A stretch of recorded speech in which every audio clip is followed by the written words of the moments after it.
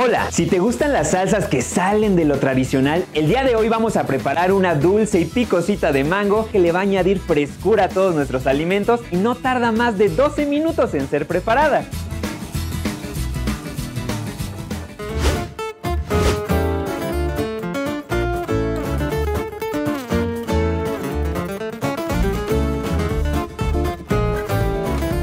Así que, a preparar.